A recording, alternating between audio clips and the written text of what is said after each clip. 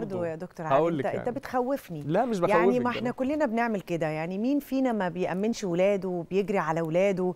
يعني برضو معلش يعني يعني نعمل إيه؟ طب انت يا دكتور علي اهو انت أيوه. مش بتأمن مستقبل ولادك أكيد. وبتجري على حاجاتهم واحتياجاتهم؟ صحيح. طب إيه بتعمل إيه جنب عشان ده؟ تسد الحتة اللي انت الله بتقولها لي؟ ينور عليكي. جنب ده ما ينفعش ان حياة الحياة المادية تاخدني من ولادي. يعني. مم. يا ما ينفعش شغلي ياخدني من ولادي. مم. ما ينفعش يبقى تركيز يعني بنشوف آباء وأمهات مثلا آه، أب ممكن يتغرب سنين. ما بيشوفش ولاده بينزل لهم أجازات بس. ما تفتكرش كده أنت بتأمن مستقبلهم؟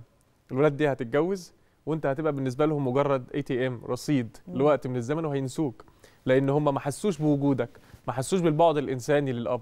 كل ما كانت الحياة بسيطة كل ما كان التماسك أعلى. وده نشوفه في الأرياف. أنا بشوفه في الأسر الفقيرة. في الأسر الفقيرة. للأسف. الأسر الفقيرة حقيقي يعني اللي هم بي بي بي الحياة اللي البسيطة. هم على قد قوتهم أيوة. وعلى قد يومهم بلاقيهم مترابطين ما شاء الله دي حقيقة وتلاقي الأخ في ظهر أخوه وتلاقي الأخ بيجهز أخته لو هي أيوة. عايزه تتجوز وبيشتغل بدل الشغلانة اتنين تلاتة صحيح فاقول إيه سبحان الله وتلاقي العائلات الأغنياء اللي معاهم الفلوس يعني ملهاش حساب أيوه تلاقيهم بياكلوا في بعض و- صحيح. و- وعلى الفلوس وصراعات في تفكك وممكن ما يبقاش في تسلسل هرمي في البيت آه إيه ده والأب ليه؟ ممكن ليه؟ الولد تلاقيه بعيد عن أهله أو آه. متمرد شوية عليهم ما أنا بقول لحضرتك كل ما زادت تعقيدات الحياة وكل ما زاد البعد المادي فيها اختفى البعد الإنساني وده اللي هيعمل لنا مشاكل آه، ما بعد الستين وما قبل الستين.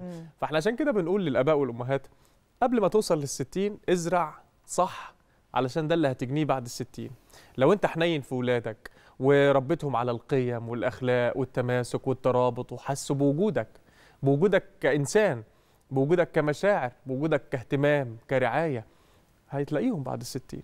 إحنا في ولاد في بنات بتتجوز عشان تهرب من بيت أهلها. آه دي حقيقة. أنت متخيل في في آباء وأمهات بيسيئوا معاملة أولادهم؟ ما تنتظرش بعد 60 أنت هتلاقيه في ظهرك. طب الأم الشقيانة اللي بتشتغل يعني الأم بقى لو جينا في حتت في بيوت كتير قوي متطلقين.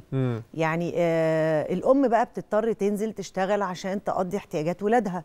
بتضطر تنزل تشتغل عشان توديهم المدارس وتأكلهم أيوة. وتشربهم وتلبسهم وغصب عنها بيبقى وقتها تلات ارباعه بره عشان تقضي تسد احتياجاتهم اللي الراجل تخلى عن مسؤولياته ومشي. الربع الأخير تعمل فيه إيه؟ بس بقى الحتة دي عشان. برضو حرام في ستات كتير بعت لنا مشاكلها في النقطة دي. أيوه. بتبقى هي أعصابها منهارة لوحديها. يعني بتبقى عايزة أولادها يطلعوا كويسين قوي عشان هي بتربي لوحديها هي أيوة. أم وأب. مش عايزة حد يشمت فيها أنت عارف المجتمع أيوة بتاعنا. طبعاً، طبعاً. مش عايز يقول لها آه ما بصي مامتك وتربية مامتك. ف بتبقى بزيادة أعصابها منهارة. فما بتقدرش تدي ال dose الحب اللي أنت متخيله اللي هي قاعدة بقى مش ست مم. مش, مش ست رايقة بقى قاعدة في البيت بقى وفاضية لأولادها. فالست دي برضو تعمل إيه؟ لأن الست دي هي- بين نارين على فكرة. الست اللي بتشتغل صحيح. دي بين ال load, نارين. ال load أكبر عليها. ال load أكبر عليها. بس خلي بالك مهم هنا وهي بتعمل كل ده إن ولادها يقدروا ده. إنها توصل ده لاولادها يعني وده حتى للأب والأم مش شرط الأم بس. بنقول أي حد بيتعب وبيشقى لازم يحسس ولاده بده علشان يقدروا هو بيعمل إيه عشانهم. ممكن أنا أكون مسافر ومتغرب بس ولادي مش حاسين بده.